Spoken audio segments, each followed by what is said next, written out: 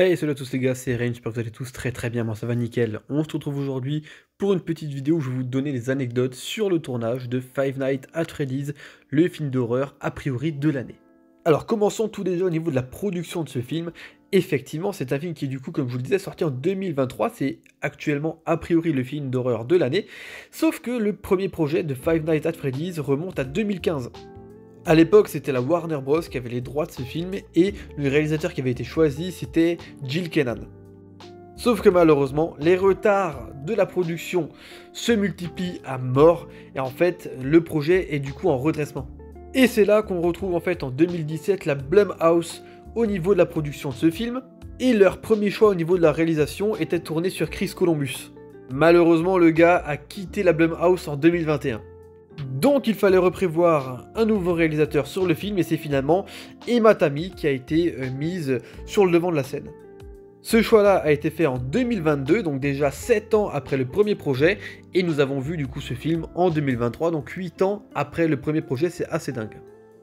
Vous n'êtes pas sans savoir pour cette deuxième anecdote que ce film parle tout simplement d'animatronics qui ont pris vie, et pour ces animatronics là, il y a pas mal de choses à dire.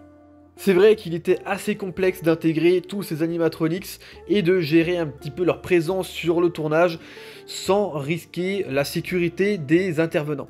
Il a donc fallu déjà un mois de préparation pour la réalisatrice et pour l'équipe de cascadeurs et de superviseurs marionnettistes pour être sûr de gérer la chose sans créer d'accident.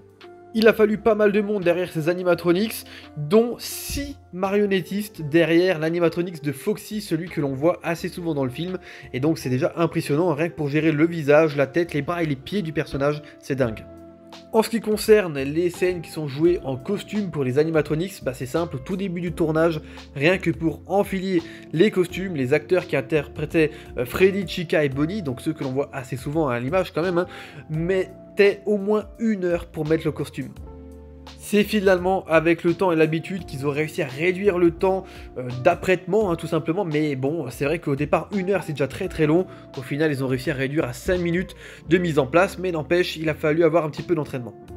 Et enfin pour la dernière petite anecdote que je trouve assez intéressante sur le film, c'est au niveau très technique finalement du tournage au niveau de l'équipement qu'ils ont utilisé, puisque c'est vrai qu'en fait ça a été tourné en Nouvelle-Orléans pendant 43 jours avec une caméra très spéciale, une caméra ARRI Alexa 65, qui est en fait équipée d'un capteur très grand format. Pourquoi ils ont choisi cette caméra? Bah, Tout simplement parce qu'elle offre un large champ de vision bien plus important que certaines de ses concurrentes. Et ça leur permettait dans ce film-là de pouvoir cadrer dans le même plan les créatures qui pouvaient mesurer jusqu'à plus de 2m10 de haut et les acteurs, et afin de les pouvoir en fait les avoir en entier en plein cadre. Donc voilà, on arrive sur la fin de cette petite vidéo bonus où je vous donne un petit peu quelques anecdotes sur le tournage de certains films. Si maintenant ça vous intéresse, hein, ce n'est que le deuxième épisode, je vous l'avais déjà fait maintenant sur un premier épisode sur John Wick. Maintenant, voilà, si c'est des épisodes qui vous intéressent, un petit peu plus courts, un petit peu bonus, Dites-le moi dans les commentaires, comme ça moi je peux réagir en fonction, proposez-moi peut-être des films où vous voulez avoir quelques anecdotes, et puis moi je n'hésiterai pas à vous préparer quelques petites vidéos. En attendant, je vais vous laisser là, je vous souhaite à tous une très bonne soirée ou une très bonne journée, c'était Rennes, portez-vous bien, ciao ciao